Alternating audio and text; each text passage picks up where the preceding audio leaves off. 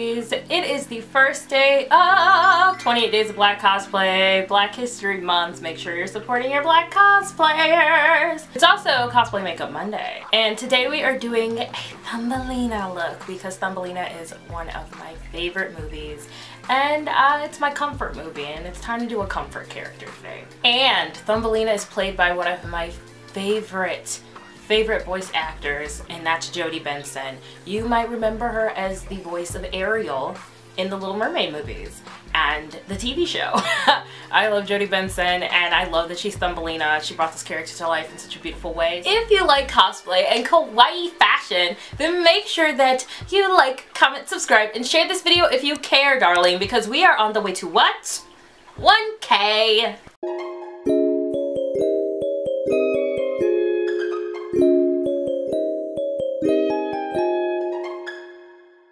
Alright, so it's time for the eyes. I'm going to be using this caution tape from Makeup a Murder. Isn't it so cute? It's eye tape and I absolutely love it. I don't typically use eye tape, but I want to try it out and see what I think.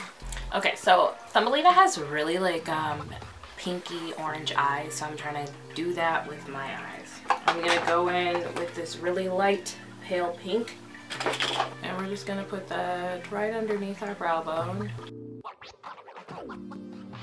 Alright, now that that's right underneath our brow bone, we're going to go in with a little bit of orange. I'm going to be using my Take Me Back to Brazil palette because this palette is full of so many colors. Taking the same brush, I'm to go in with an orange color right underneath that brow bone color. So, now that that's done, we're going to take a darker pink and we're to just put it in the outer corner. Start from that outer corner, pack it in there really good, and then drag it out. I'm going to go into my white eye primer, and I am just gonna figure out where I want to put my crease. Alright, so now that we have white concealer all over our eyes, we are going to go in a really pretty shimmery color. That looks really pretty. Alright, so now let's put on some eyeliner. Using my Wet n Wild eyeliner. So I'm going to go back into that orange color and I'm going to drag that right underneath where I put that wing and to the underneath my eye. Put on some mascara, gray lash as always. Since we're a cartoon character, you guys already know we need to get some white so we're going to take some white paste paint. We're going to put it on our lower lash line. Alright, now it's time to do the face. Um, Thumbelina has a very orangey pinkish like blush color and it's like all over her face and then she has a couple of freckles.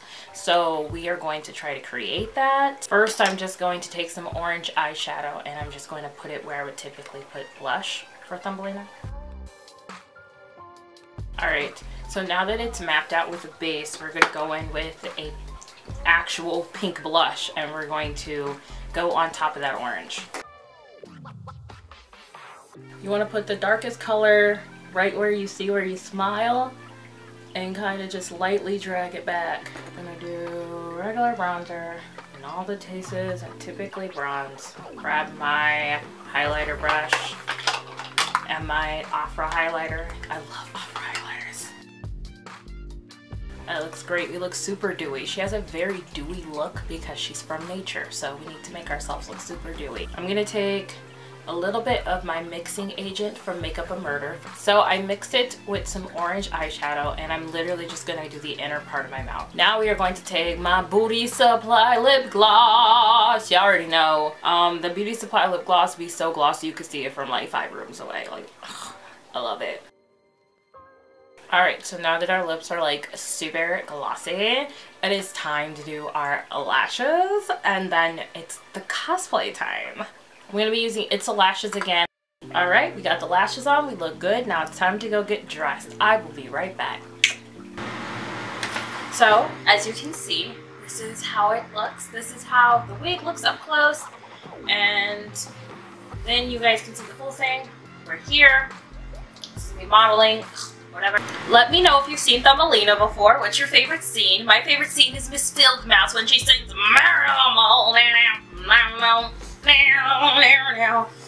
love that scene. If you're interested in supporting black cosplayers this Black History Month, make sure that you hit that notification bell so you do not miss my next video because on Wednesday I will be giving you a list of 10 amazing black cosplayers that you can support this Black History Month by sharing their content, liking their photos, commenting, and just really lifting them up because we go through a lot. Also, don't forget to check out the Your Nerdy Girlfriend podcast where we're talking about all things nerdy and fun. And hey, since you're waiting for the next video, why don't you check out these videos right here. They sound really entertaining. I think you should check them out. Bye!